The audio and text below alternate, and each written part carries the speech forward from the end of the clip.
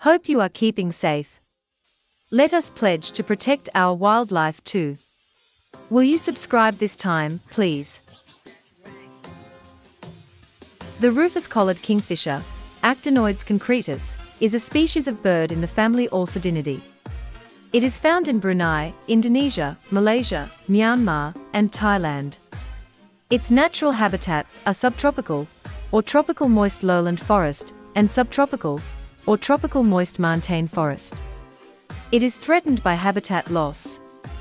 This species is 22 to 25 centimeters long, and about 60 to 90 grams, making it medium-sized among kingfishers.